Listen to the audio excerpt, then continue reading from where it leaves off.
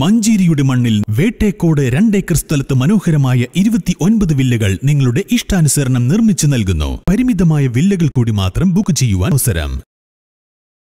പതിനൊന്ന് വയസ്സുകാരിയെ ലൈംഗികമായി പീഡിപ്പിച്ച പ്രതിക്ക് വിവിധ വകുപ്പുകളിലായി എൺപത് വർഷം തടവും മൂന്ന് ലക്ഷം രൂപ പിഴയും വിധിച്ചു.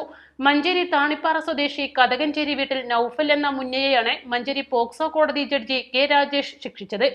രണ്ടായിരത്തി ഇരുപത്തിയൊന്ന് ഏപ്രിൽ പത്തൊൻപത് മുതൽ ജൂൺ പത്ത് വരെ കുട്ടിയുടെ വീട്ടിൽ വെച്ചും നിർമ്മാണം നടക്കുന്ന ബന്ധുവിന്റെ വീട്ടിലും പ്രതിയുടെ വീട്ടിൽ വെച്ചും പീഡിപ്പിച്ചെന്നാണ് case. Manjeri police station inspector K P Abhilash register ചെയ്ത കേസിൽ ഇൻസ്പെക്ടർ സി അലവിയാണ് കുറ്റപത്രം സമർപ്പിച്ചത്. രണ്ടായിരത്തി ഇരുപത്തിയൊന്ന് ജൂൺ പതിനൊന്നിനാണ് പ്രതിയെ അറസ്റ്റ് ചെയ്തത്.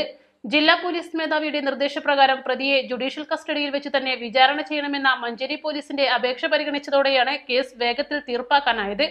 അറസ്റ്റ് ചെയ്ത അന്നു മുതൽ ഇയാൾ റിമാൻഡിലാണ്. കേസിൽ പതിനെട്ട് സാക്ഷികളെ വിസ്തരിച്ചു. മുപ്പത്തിയഞ്ച് രേഖകളും ഹാജരാക്കി. പ്രോസിക്യൂഷന് വേണ്ടി അഡ്വക്കേറ്റ് സോമസുന്ദരൻ ഹാജരായി. ഡി സി ആർ ബിയിലെ assistant sub inspector N Salma വനിതാ പോലീസ് സ്റ്റേഷനിലെ senior civil police officer P Shajimol എന്നിവർ പ്രോസിക്യൂഷനെ സഹായിച്ചു. News bureau Manjeri.